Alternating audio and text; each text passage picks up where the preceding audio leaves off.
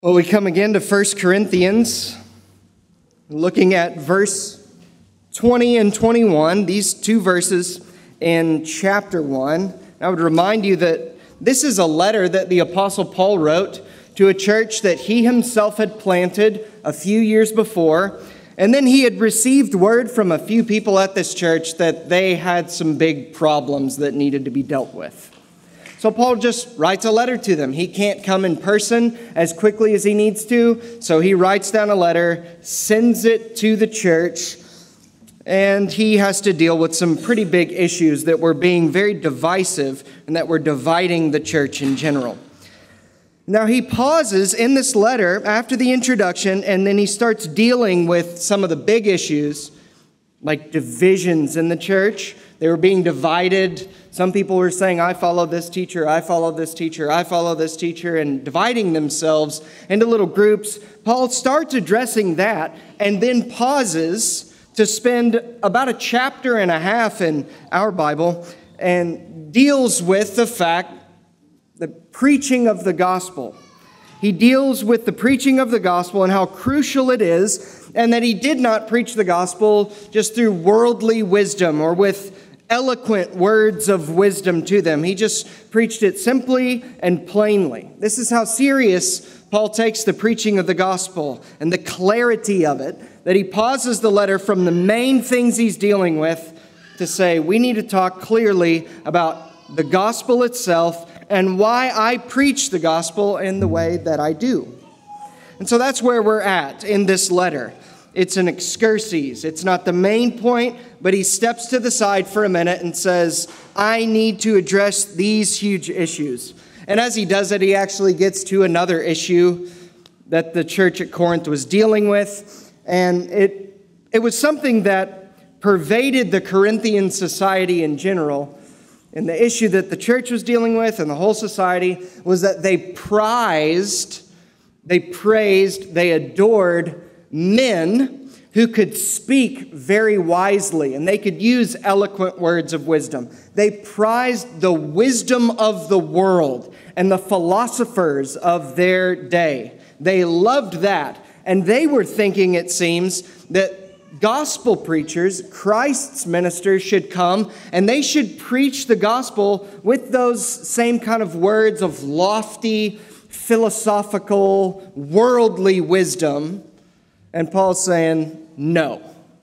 That is not how gospel preachers come. That's, how not, that's not how God saves people, not through eloquent words of wisdom. Look with me in your own Bible at verse 17 again, and then we'll build right back up to where we are currently in verse 20.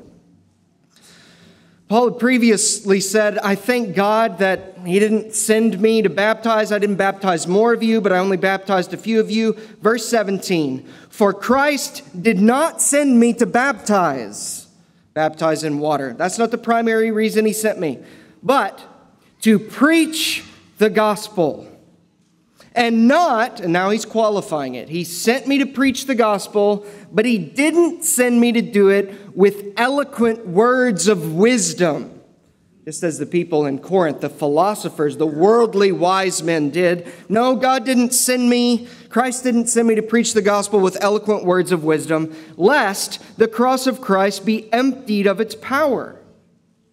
Verse 18. For, because the word of the cross, that means the message of the gospel of Christ crucified in place of sinners like us, it's folly to those who are perishing. It's foolishness to those who are not saved through believing its message. But to us who are being saved, it is the power of God. For it is written, he's quoting Isaiah 29 14. I will destroy the wisdom of the wise. This is what the Lord's saying. And the discernment of the discerning I will thwart. And so, do you see where we are so far in this letter to the church at Corinth? Paul says, Christ sent me to preach the good news of Christ crucified and risen from the dead to save sinners plainly, simply, not wrapped in words of philosophy or worldly wisdom. He hasn't sent me for that because This word of the cross, it's foolishness to those who are perishing, but to those who are being saved, it is the power of God. Now, in verse 20, Paul specifically names three different groups of people, one in general and then two in particular, and basically says, Where are these people? Where are these people? Can they do anything to save you? This is why I don't preach the gospel with worldly wisdom or philosophy or any of that, because people have been doing that for centuries and it can't save anyone from their sin. People have been preaching worldly wisdom for a long time, even before Paul, and he said, It can't save you from your sin. The scribes who are experts in the law and can tell you this is how you must obey the law, they can't save you from your sin. They can't tell you the message by which you can be forgiven by God the debaters of this age, the Greek philosophers, they can't save you from your sin. That's what he's doing when he says, Where is the one who is wise? Look at verse 20. Where is the one who is wise? Where is the scribe? Where is the debater of this age? Has not God made foolish the wisdom of the world? What that means is, has not God revealed that those who are wise according to the world standards, those who are experts in the law of God, and those who are great Greek philosophers, has not God revealed that they are foolish because they can't do anything to deal with your sin? They can't actually tackle the biggest problems you have? Hasn't God shown that they are foolish? That's what he means by, has not God made foolish the wisdom of the world? Verse 21 For since in the wisdom of God, the world did not know God through wisdom. For since that is true, since the world cannot know God experientially, cannot be reconciled to God, can't be forgiven of their sin through worldly wisdom, it pleased God. Look at it. It pleased God through the folly of what we preach to save those who believe. So, here, here are the main points of this passage and how we're going to walk through it and divide it up. First, God has made foolish the worldly wise because salvation does not come through their wisdom. God has revealed, rendered as foolishness the wisdom of the world because salvation from sin and death does not come through their wisdom. Second, God has made foolish the scribe. This is the experts in the Old Testament law. God has made foolish the scribe because salvation does not come through the law. Third, God has made foolish the debater of this age because salvation does not come through their philosophy. And then, fourth and finally, it pleased God to save his people simply through the preaching of the gospel. Well, that's where we're going. That's what this text teaches. So now start with me and think about this very first part when Paul says, Where is the one who is wise? Where is the one who is wise? Where's the scribe? Where's the debater of this age? And then, has not God made foolish the wisdom of the world?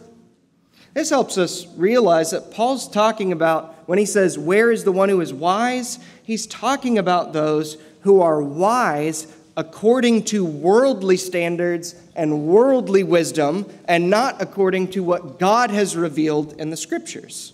It's as simple as that. They are very wise. They seem to have a great deal of wisdom, but it's not according to Christ. It's not according to God's revelation in the Bible. It's just according to their own experience or their own intellect. A great example of this where is the one who is wise? Great example of this modern day is a man named Jordan Peterson. And some of you may know who Jordan Peterson is, some of you may not. He's a clinical psychologist from Canada who a few years ago just burst onto the scene because, in my estimation, he gets a lot of things right.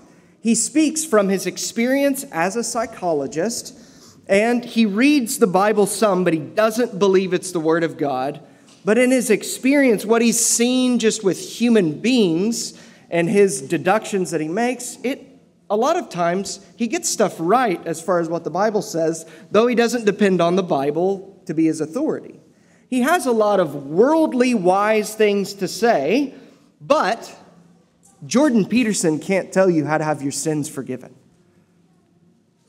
Jordan Peterson can maybe help you clean your room or take some responsibility for yourself and not be such what, what he would call a worthless member of society. He can maybe help you with that. He can't deal with your biggest problems. That's, this is the same type thing when Paul says, Where's the one who is wise? He's just speaking in general here. Where's the worldly wise man? God's made them foolish. Because in that wisdom, in the worldly wisdom, that can't give you true access and reconciliation to God. That's why God has made it foolish. What you'll notice if you ever read any of Jordan Peterson is that he usually gets the problems right. So just through his experience, through looking at human beings and their depravity, our enslavement to sin, though he wouldn't call it that, he, a lot of times he puts his finger on the problem. And then when he tries to give the answer to that problem, he's a million light years from the truth. He gets the problem that mankind is sinful and we're all capable of great evil. And then he says the remedy to that is do more, try harder, be a better person. Like, nope, that's not the remedy. That's not the gospel. So, in the end, men like Peterson, though they can be helpful to some only in a worldly sense, they can't deliver us, they can't let us know how to deal with our real problems. The fact that I've offended God through my sin, and I need God to be reconciled to me. I need to be cleansed. I need to be counted righteous. I need to receive not only new standards to live by, I need to receive a new heart that loves the Lord and wants to obey him. How sad would it be to have a clean room but spend an eternity in hell? That's what you'll get through listening to worldly wise men like Peterson. I pray God would save him. How horrible to take responsibility for everything in your life according to the wisdom of the world, except how to be forgiven and counted righteous before God. God has made foolish the worldly wise because salvation doesn't come through their wisdom. That's the first general point. Now, what I think Paul is doing here in these verses, he makes a general statement about the wisdom of the world. Where is the generally wise people in the world? God's made them foolish because they can't tell you how to be saved. And then he goes after the Jewish wise men, those who the Jews would think are the experts in wisdom, and he attacks them and says, They can't save you either. They can't help you be saved. And then he turns next to the Greeks, the Gentiles, the philosophers in Greece, and says, These people, the debaters of this age, they can't do anything for you either. So, general worldly wisdom cannot tell you how to be forgiven and reconciled to God. And then he goes after the Jews next. Look at that. When he says, Where is the scribe? Where is the scribe? Where's the debater of this age? all this applies to the wise scribe, debater of this age, when he says, Has not God made foolish the wisdom of the world? For since in the wisdom of God, the world did not know God through wisdom. The scribes in Jewish culture were those who had memorized most, if not all, of the Old Testament of our Bible. They had memorized the 620 plus laws of God revealed in the Old Testament, and then, according to their own human wisdom, not according to what God says in His Word, they said, if you are very careful to obey all of these laws, God will love you you be a part of his family. This is how you can be accepted to God through obeying the law strictly. So these scribes, because they had convinced people that they could be saved through their law keeping, they were seen as the most wise men in the land because they knew the law better than anyone else. But Paul calls them forward and says, Where is the scribe? Where is the expert in the law? God has revealed that they are foolish. Because God does not save us through our obedience, God does not save us through our law keeping. This is why they rejected the Lord Jesus Christ. The scribes, the experts in the law, rejected Christ when he came and essentially said, You cannot save yourself. You must trust in me and me alone to deliver you from your sin. Only I can set you free. And they didn't like him. They didn't like that he fellowshipped with tax collectors and sinners and offered them grace and forgiveness. He didn't like that he preached a salvation by grace alone. They didn't like that, so they hated him. And this is what Jesus said to them in Matthew 23 27. Woe to you! That means, a curse be upon you, scribes and Pharisees, hypocrites, means actors. For you are like whitewashed tombs, which outwardly appear beautiful but within are full of dead people's bones and all uncleanness. This is what the scribes were like, who thought by their external obedience to the commands of God in the law, they could be made right with God and be reckoned as righteous before Him. Jesus says, Woe to you, scribes and Pharisees! You're like a grave Yes, on the outside it's been washed white, it's been painted white, and it looks clear, but inside of you are dead men's bones. You're spiritually dead. Why does Jesus say that? It's because the law cannot save you. The scribe, who is the expert in the law, cannot help you be forgiven of your sin. Galatians 3:10. I don't think it gets any clearer than this when it comes to the law of God and its function in our lives. We cannot be saved by it. Galatians 3:10. For all who rely on the works of the law are under a curse. All who rely on their obedience to the law are under a curse. For it is written, Cursed be everyone who does not abide by all things written in the book of the law and do them.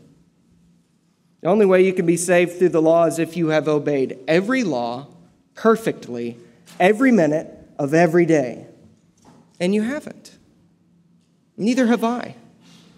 Only the Lord Jesus Christ has obeyed in such a way. Therefore, the law cannot save you. The scribe, according to their worldly wisdom, trying to use the law of God in a way that's unlawful, trying to use the law of God to say, this is how God will accept you. No, where's the scribe? God's rendered them foolish. First of all, in our lives, the law of God is a mirror to expose our sin. You mark that down for yourself. The law of God is a mirror, first of all, to expose your sin. You look into the perfect law of God, the commands of God that are according to his perfect holiness, his perfect nature. He commands us in his word. It first of all, we look into it as a mirror and see, I have not done that even when I've tried really hard, I have not done that as I should. So the law of God is a mirror that exposes our sin and that we need to be cleansed of our sin by the mercy of God in Christ Jesus. That's what the law is first. If you try, if you try to break up the law into manageable pieces and say, well, I can obey this and this and this and this really well, and then God must owe me his love, all you're doing is breaking up a mirror into many pieces and using these shards of glass to try to scrub filth away. You're not going to clean yourself through broken glass. It doesn't work. Glass doesn't clean away filth, it only reveals it. This glass of the law of God, what the scribes were experts in, the scribes should have been experts in saying, You're not righteous. You're not righteous. You need Jesus. I'm not righteous. I need Jesus. You're not righteous. You don't obey this, this, this. An expert in the law could be a great thing because it helps us all realize we have not obeyed how we should. We have all rebelled against God, and we need Him to cleanse us through His Son's work in our place. But these scribes didn't do that. They tried to tell people take the glass and scrape your flesh off, and that will clean up your sin. All you're going to do is harm yourself.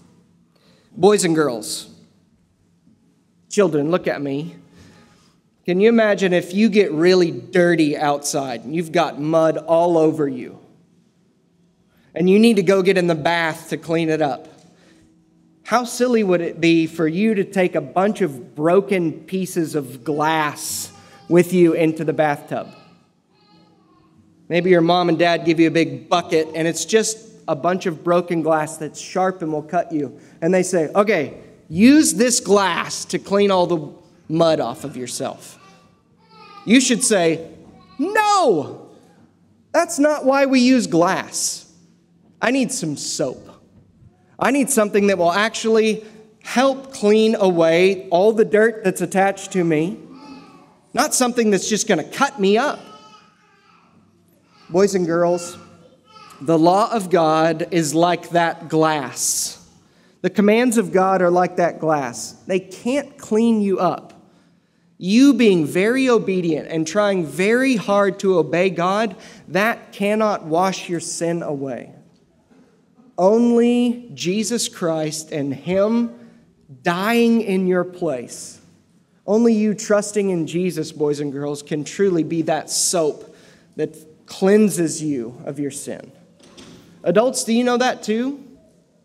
Do you know that when you try to obey so that God will be pleased with you ultimately, uh, I'm going to earn God's favor, put God in my debt through your obedience to the law? All you're doing is cutting yourself with broken glass? God only cleanses of sin through the blood of Christ. That is the soap that washes our sin away. And that's why Paul says, Where is the scribe? They've been trying since the delivery of the law. Experts in the law have got it wrong and been trying to tell you if you are very obedient, God will accept you as righteous. Hasn't God shown that the experts in law are just foolish because they can't actually help you. You cannot make God forgive you.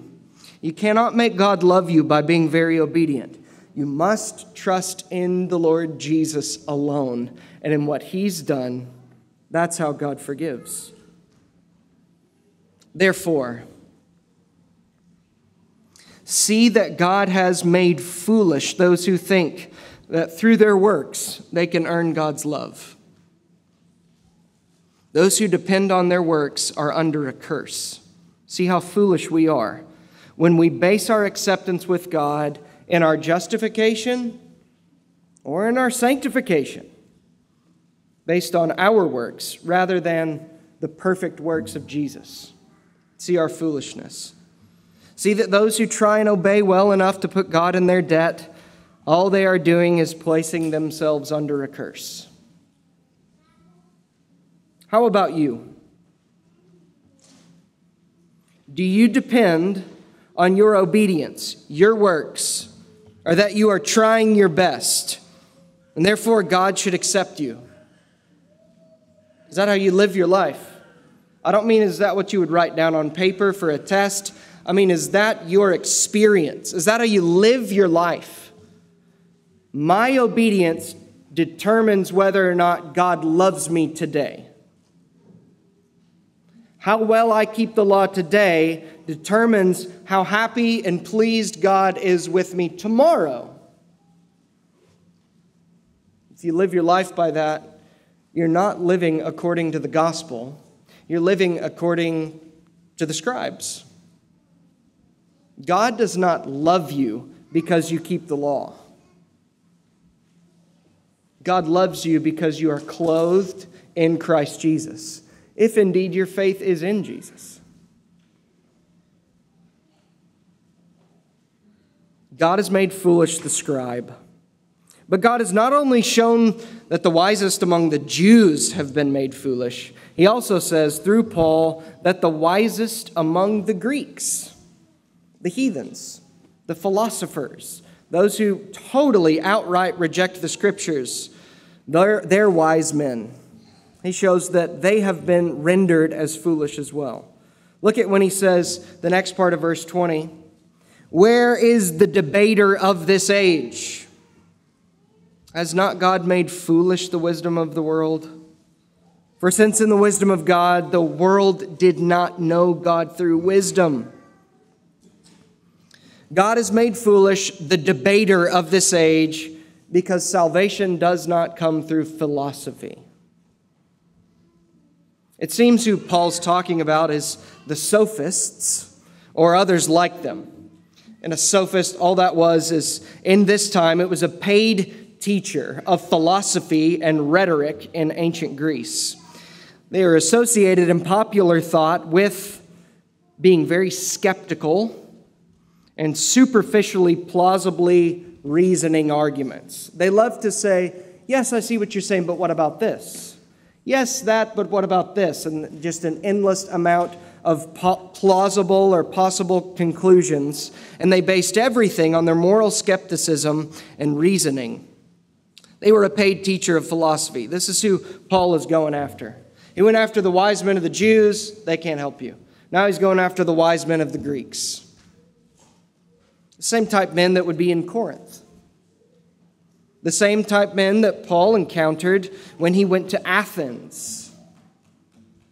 In Acts 17, 21 and 32, when Paul comes against these kind of people, he comes to preach the gospel to them.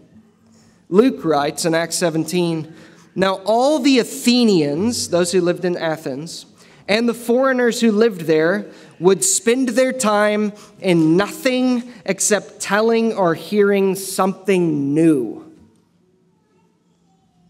All they wanted to do was hear about some new idea, some new thing, some new philosophy that someone could present. And so Paul sees what they're doing out there and goes to the middle of the city in Athens and preaches the gospel to them. And after he preaches Christ, verse 32 says, Now when they heard of the resurrection of the dead, some of them mocked. It means they, they just made fun of Paul. They made fun of his preaching of Christ, that he was crucified to forgive us of our sin, that he was raised from the dead to life to be our Savior. It said some of them, these debaters of this age, they just mocked when they heard the gospel. God has made foolish their philosophy because they can't tell you how to be saved. Now, Calvin says in conclusion of these three things wise, scribe, debater of this age, Calvin says, thus, in a general way, Paul brings to nothing man's entire intellect. That's what Paul's doing here is bringing to nothing man's entire intellect so far as it works in order to save us from our sin. You want to depend on your intellect? Can't get there. You can't get saved through that. You can't figure it out by human wisdom. So, what does this mean for you and I? It means that through the wisdom that the world offers, you need to make sure that you've got this marked down clearly in your mind. Through the wisdom that the world offers, your biggest problems cannot be dealt with. Through the wisdom the world offers, they may be able to help with little temporary problems in your life, but your biggest problems cannot be dealt with through scribes or through philosophy. If you gather all of the wise medicines of every learned man who ever lived, it will not be able to heal you from the plague of sin. That's what Paul's getting at. Where are all these people? What have they been able to do for you? Nothing. God has revealed they are foolish. Children, boys and girls, the world cannot give you what will make you happy. The world cannot give you what will make you happy. Only Jesus can give you what will make you happy. Only Jesus can take your sin away. Only Jesus can reconcile you to himself. That means make peace between you and him. The world can't give it to you, they can't give you the medicine that you need. Next, see how foolish you are if you look for rescue. See how foolish you are if you look for rescue or peace or happiness in philosophers, sociologists, psychologists, economists, scientists, or civil authorities? Do you look for rescue or peace or happiness in philosophers? Do you look for those things in sociologists? Do you look for them in psychologists? Do you look for rescue or peace or happiness in economists, in scientists, or in civil authorities?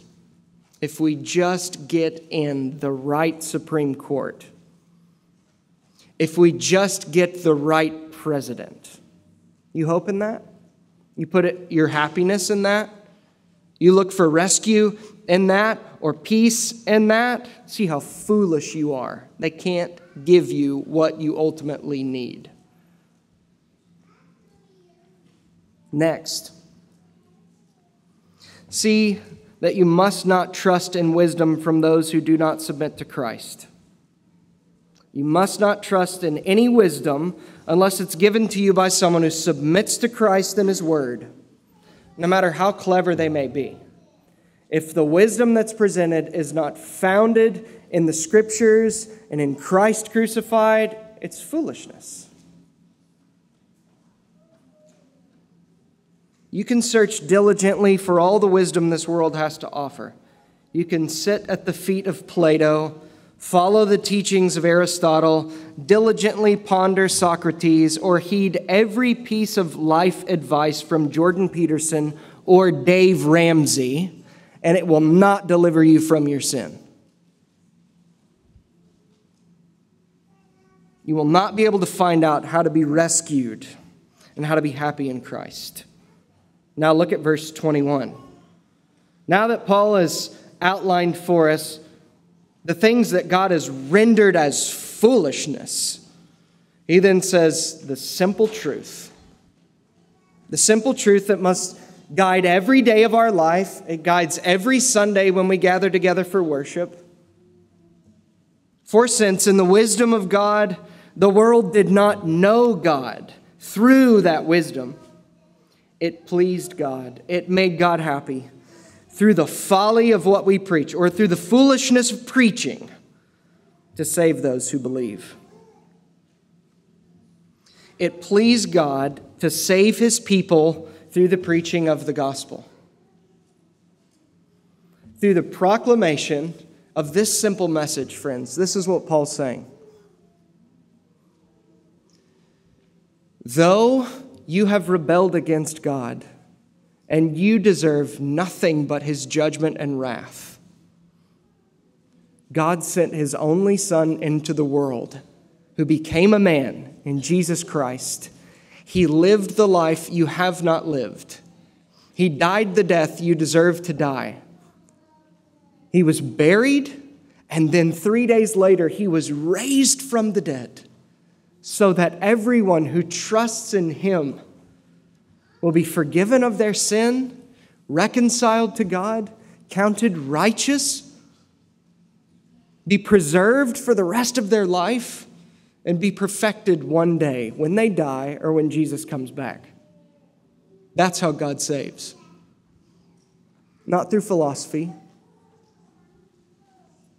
not through worldly wisdom, but through that plain message you need to hear.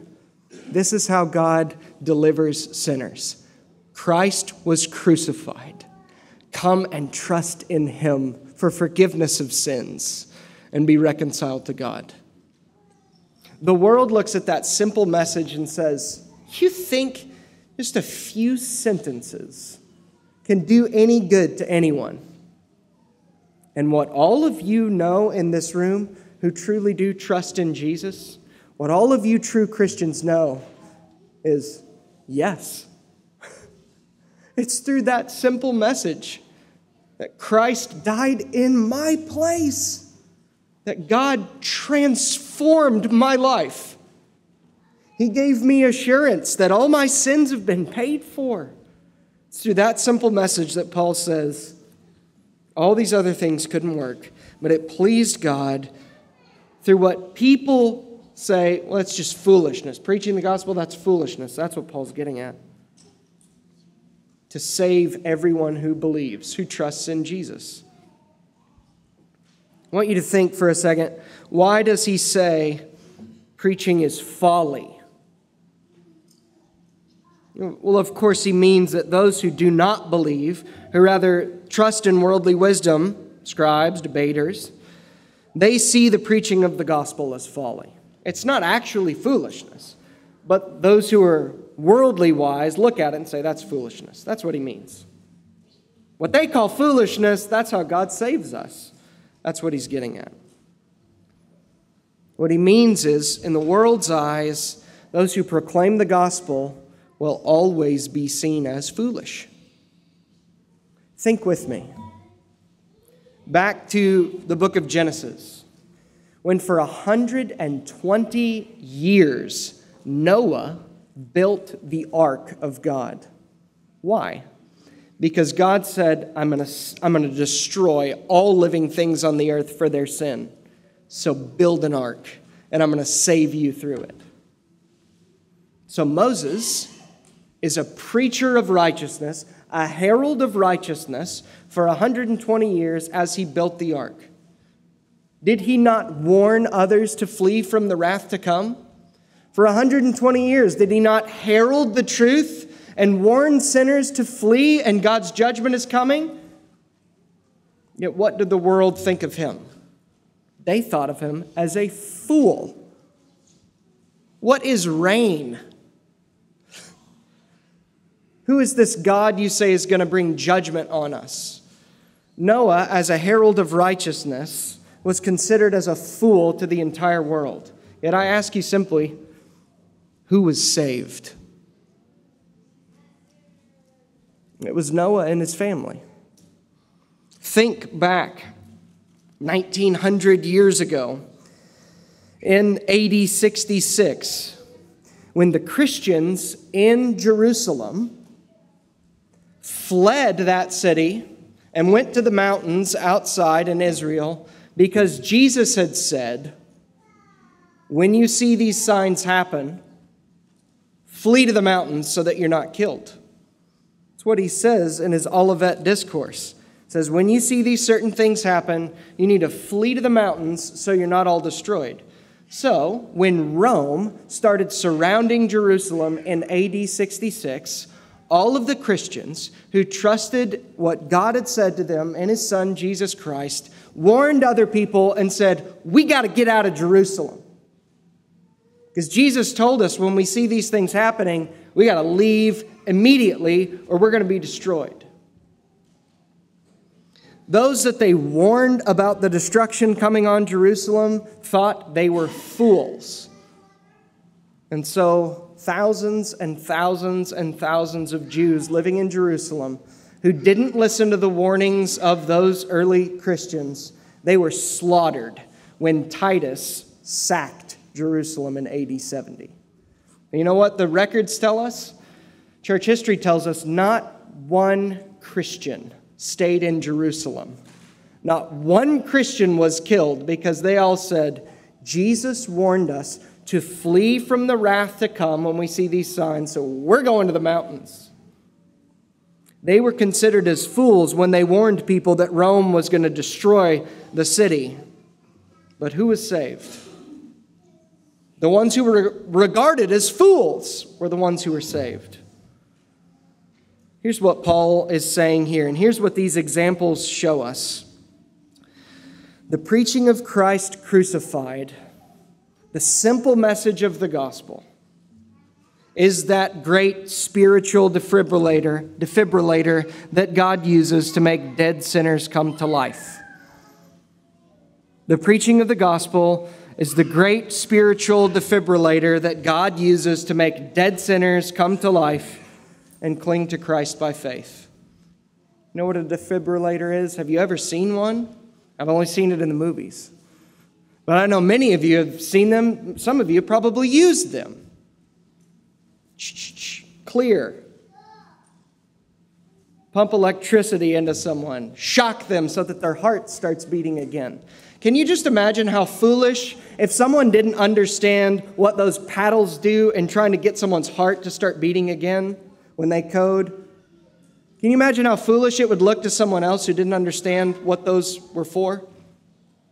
Like their heart stopped beating. Why do you have these paddles that you're putting on them?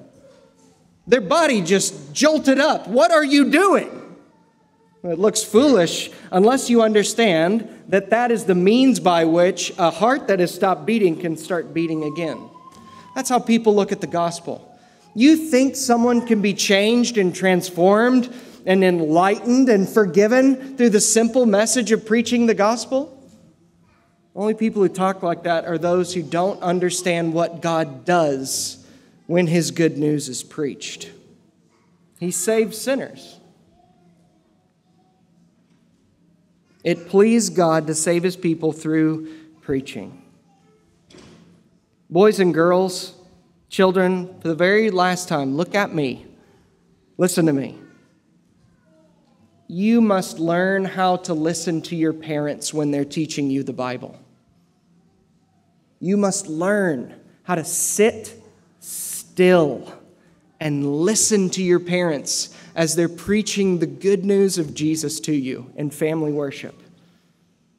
Children, you must learn, as you've been doing so well, how to sit still and listen when one of your pastors is preaching the gospel to you.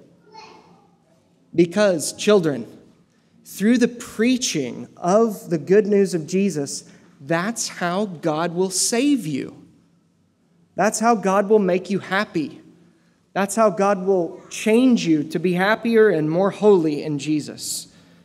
Adults, some of you still maybe haven't even learned that lesson. To pay diligent attention when the Word of God is being proclaimed. Do you see in this passage? Paul says that is the means that God uses to save sinners. That's also the means, believers, that's the means that God uses to transform you, to give you assurance, to help you to fight your sin. The preaching of the Word of God is how God saves. Therefore, by way of application, in conclusion, let me say these few things to you. You need to see in this passage that all you need to do in order to be saved from your sin is believe. That's it. Hear the good news of Christ and trust in Him. Look at it again. For since in the wisdom of God, the world did not know God through wisdom, this verse 21, it pleased God through the folly of what we preach to save those who what? Believe. That's how God saves. We hear the message of Christ, and believe means to trust in Him, to lean upon Him, to put your confidence in Him. You want to be forgiven of your sin? Cling to Christ, trust in Christ in faith, and you will be saved. Second, see how humble we should be who have been saved. Are you humble? If you're a Christian, you must be. It's not because of our wisdom, nor because of excellent scribes or debaters that we are saved. If you're in Christ, it's because God saved you as you heard the gospel. He opened your eyes to see it, He opened your ears to hear it. He gave you a new heart that would want to trust in Jesus by faith. See how humble we should be. We're not better than anyone or anything We've been saved because this is how it pleased God to save us. We heard, and He gave us the gift of faith. Third, see that You who will faithfully preach the gospel will be regarded as fools. If you want to faithfully preach the gospel, not just in a formal sense like I'm doing now, in an informal way, proclaiming the good news to your family, your friends, your neighbors, your coworkers, to the ends of the earth. See that you, you need to be prepared to be seen by the world as a fool. You see, I mean, just remember the play on words. It pleased God through the folly of what we preach to save those who believe. Because those outside just look at it as foolishness. Are you prepared to be seen by the world as foolish. If you're not prepared for that, you won't be much use to anybody. If you want to be seen by those who don't love Jesus as this wise, excellent person, and you're not prepared to be seen by a fool as a fool, you're not going to be much use. Paul was ready and willing, and he embraced it. He says, I know you guys see me as a fool. I know you see me as foolishness, yet it pleased God through the foolishness of what we preach. You guys who could do nothing, it pleased God to save those who believe. You who want to be in pastoral ministry, get ready to be looked on as a fool. Do you want to be a faithful gospel preacher, proclaimer? You want to share the gospel with your neighbors? Many will think you're foolish. Fourth, in application, see how you can do others the most good. Preach the gospel to them. You want to love your neighbor as yourself? You want to do the most good to people? Tell them the good news of what Christ has done for us exhort them to respond through turning from their sin and trusting in Jesus. That's how you can do the most good. Husbands and fathers, do you want to do the most good to your wife and your children? Preach the gospel. Mothers, do you want to do the most good that you possibly can to your kids? Tell them of Christ crucified. All the rest of you, any of you? Do you want to do your friends and neighbors and family the most good? Tell them the plain message of Christ and let them know you must respond. You must trust in Jesus and submit to Him. That's how God delivers sinners. Fifth and finally, looking at what God says here in His Word in 1 Corinthians 1 20 and 21 see that you must never despise preaching. You must never despise the preaching of God's word. Oh, how many of God's people come sleepily to church and sleep in the midst of the sermon.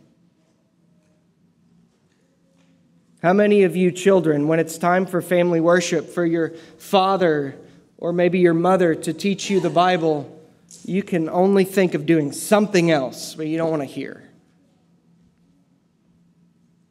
It's to our shame that we do not pay diligent, careful attention every time the Word of God is proclaimed.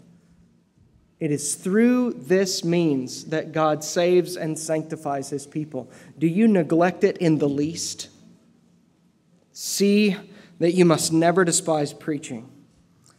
Thomas Watson, who's my favorite Puritan, as some of you well know, in one of his sermons gives us these encouragements for how we must hear the Word of God preached. And I close with these. Give great attention to the Word preached. Give great attention. Be laser focused on the preaching of God's Word. Next, come with a holy appetite to the Word. Come hungry and ready to be fed God's Word. Come to it with tenderness upon your heart. Not saying, I already know what I should know, but saying, I'm weak. I stumble in many ways. God, show me how I'm wrong. Show me what I need to see. Next, Watson says, receive it with meekness, with humbleness. knowing all I am is a man. All I am on my own is someone in need of God's mercy. So, God, please speak to me. Fifth, Watson says, mingle the word preached with faith. What he means is, as you hear the word of God preached, receive it, pay attention to it, and believe it as what it really is. It's God's word being spoken to us. Receive it, mingle it with faith and trust.